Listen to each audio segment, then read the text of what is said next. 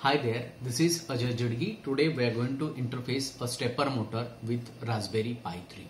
Okay, so we can have number of uh, stepper motors or variety of the stepper motors. We can have a unipolar stepper motor which is having 8 lines. We can have a bipolar stepper motor which can have 4 lines or we can have a unipolar stepper motor. Unipolar stepper motor comes with 6 wires or 5 wires. If it is having a 6 wires that means 2 will be common and 4 will be windings. If it comes with the 5 wires 1 will be common and 4 will be windings. So let us start with the hardware connection and the programming.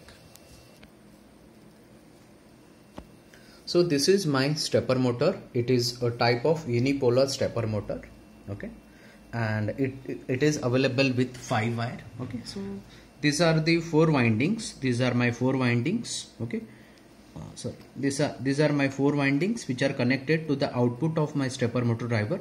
This is a ULN 2003 IC which is used as a stepper motor driver and this is my common terminal which is connected to the 12 volt okay so this board needs a 12 volt to drive the stepper motor which cannot be provided by the Raspberry Pi. Raspberry Pi can provide me only 5 volt and 3.3 volt. Okay, so we have this uh, power supply uh, circuit or power supply board manufactured by Square Electro Engineering Private Limited.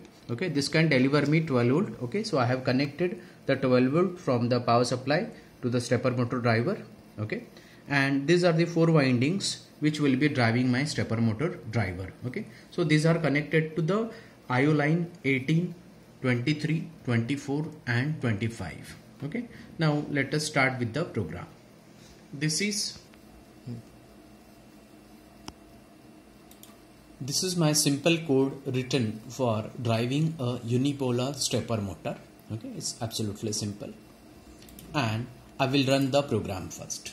Okay you just go to the terminal and you over you can you can type sudo python stepper.py as my program name is stepper.py as soon i press enter my stepper motor will start rotating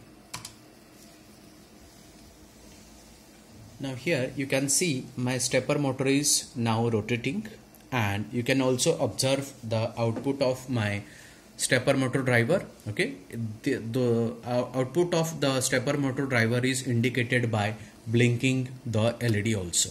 This is all about interfacing the unipolar stepper motor with the Raspberry Pi. Thank you. Thank you very much.